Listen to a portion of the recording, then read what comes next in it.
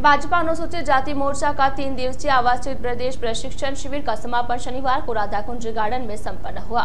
समापन समारोह को संबोधित करते हुए भाजपा प्रदेश संगठन महामंत्री चंद्रशेखर ने कहा कि भाजपा का कार्य राष्ट्रवाद, अंत्योदय व गरीब के कल्याण के विचार का है, जिस सपनों को साकार करने का कार्य नरेंद्र मोदी सरकार पिछले आठ वर्षो से निरंतर प्रयासरत रहकर गरीबों के कल्याण के लिए कर रही है।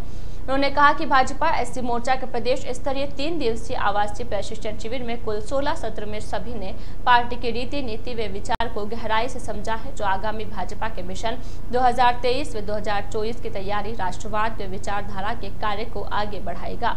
पार्टी का उद्देश्य अंतिम छोर के व्यक्ति तक भारतीय जनता पार्टी के विचार को पहुंचाना है, जहाँ भाजपा पहुँच गई है, वहाँ उसे व्यवस्थित करना है और जहाँ व्यवस्थित है, वहाँ उसे अजय बनाना है।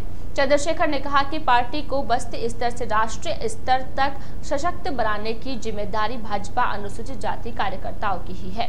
भाजपा का कार्यकर्ता संवेदनशील होना चाहिए और उसमें पार्टी के प्रति आस्था का भाव बना रहना चाहिए। उनका कहना था कि भारत माता की जय ही हमारी विचारधारा है। इस प्रशिक्षण शिविर में बहुत कुछ सीखने को मिला है। इस ऊर्जा को भाजपा को मज़बूत करने में लगाना है।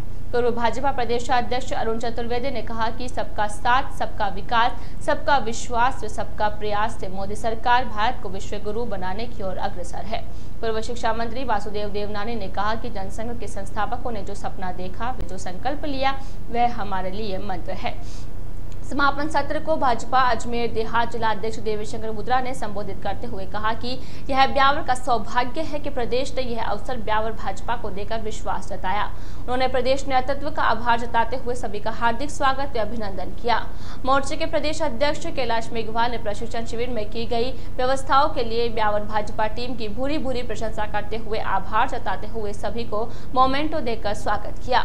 इसी के साथ ही आगामी बस्ती कार्यक्रम के लिए संगठन महामंत्री चंद्रशेखर एससी मोर्चा, प्रदेशाध्यक्ष कैलाश मेघवाल और जिला अध्यक्ष देवी शंकर भुत्रा ने स्टिकर विमोचन किया। पूरे प्रदेश में बस्ती कार्यक्रम में घरों, वाहनों पर स्टिकर लगाए गए।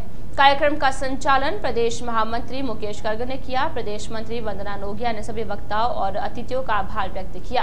प्रशिक्षण शिविर में अनुसूचित जाति के प्रदेश अध्यक्ष कैलाश मेघवाल, प्रदेश महामंत्री मुकेश गर्ग, प्रदेश मंत्री वंदना नोगिया, अजमेर देहात जिला अध्यक्ष देवेशंकर भुत्रा एससी मोर्चा प्रदेश मंत्री हेमराज कंगवाल, शोभा चौहान, ललित लखवाल, संजय चंदेल, मुकेश किराड लक्ष्मण बढ़ेरा ओम प्रकाश जैदिया, सुमन मेहरा बीएल भाटी, प्रमिला कुंडारा, सुरेश सिंदल, संतोष बेरवा, राजपाल सामरिया, किरण डांगी सहित सभी एससी मोर्चा जिला अध्यक्ष प्रभारी, कार्यक्रम संयोजक सहित सभी भाजपा पदाधिकारीगण मौजूद रहे।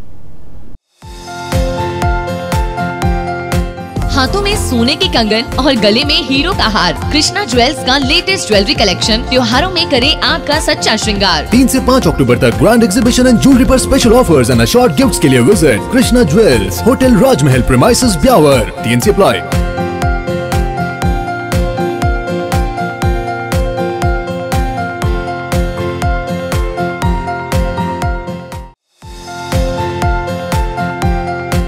हाथों में सोने के कंगन और गले में हीरो का हार। कृष्णा ज्वेल्स का लेटेस्ट ज्वेलरी कलेक्शन त्योहारों में करे आपका सच्चा श्रृंगार। तीन ऐसी पाँच अक्टूबर तक ग्रांड एग्जीबिशन एंड ज्वेलरी आरोप special offers and short gift के लिए visit Krishna jewels, hotel Rajmahal premises Beawar. तीन सी अप्लाई